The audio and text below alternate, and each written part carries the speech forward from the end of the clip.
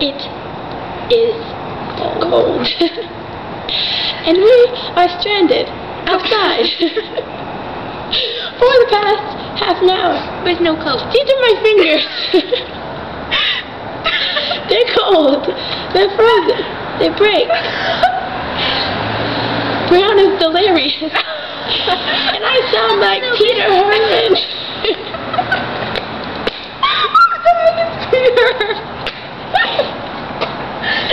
Cold is getting into our brains. It's been in our brains. so pretty much, tonight was supposed to be the best night of my life, and guess what?